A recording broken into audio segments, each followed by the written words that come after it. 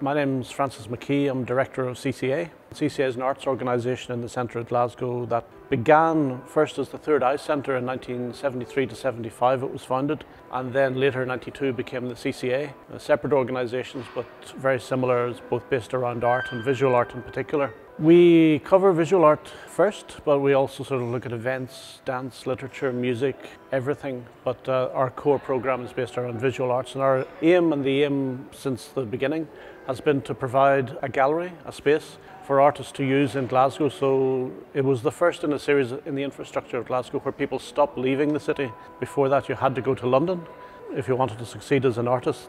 Now you can actually stay in the city because there are enough spaces to stay in the city. Forms of Action is an exhibition which is a survey of socially engaged artistic practice.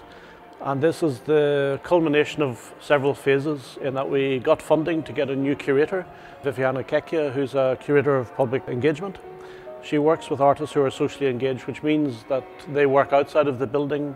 A great deal of the time they are artists who work directly with the public and it's more about the process of working with the public than an outcome that is visually beautiful.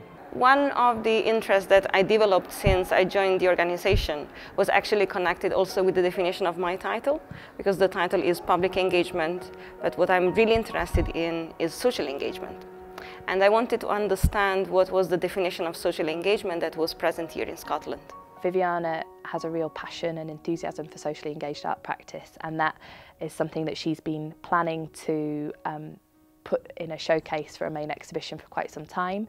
Uh, it's taken two years of her being in the post to get to grips with Glasgow as a city and work out what would be best to have showcased in that exhibition. So there's seven different artists, all with very different practices, some of them based in Glasgow, some of them based in other parts of the world, but all of them have a relevance to the politics and the social times that we're living in. This came out of something where we wanted to be more engaged beyond the building and beyond the gallery and we had education programs. We worked in Drumchapel. We worked with food, growing, growing vegetables in particular. Um, and from that, when we got uh, Viviana and the programming money, she has begun a whole series of programs called Cooking Pot around the city, looking at food in different ethnic communities in the city and beginning to bring in other communities as well. So I created initially like a group together with other two organizations in town, the Common Guild and the Glasgow Sculpture Studios. So initially we created a symposium uh, the title of the symposium was Social Intention. The symposium gathered together different institutions that are already using social engagement at the core of their program. And therefore they have an experience that has been developed since decades about how to use social engagement within an art institution. The reason why we did that, it was to understand what were the limitations, but also the benefits of having a more socially engaged sort of program and if the CCA could actually achieve it or let's say, contribute somehow to the current discourse that was present uh, throughout the UK and Europe. So we did two different things. On one side, we created a publication, which is called Forms of Action, in which we gathered four texts written by curators that have either an institutional or non-institutional experience, and they could define what socially engaged art practice means.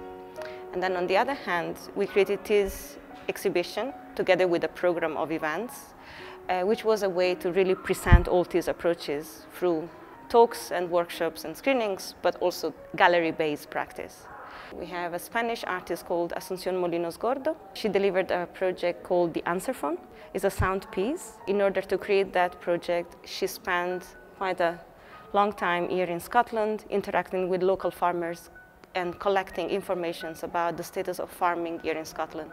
There's really interesting work around farming and really interesting work around planting and ideas around gardening which I think sound fairly uh, simple and, and quite sweet but actually have a really strong political and social message.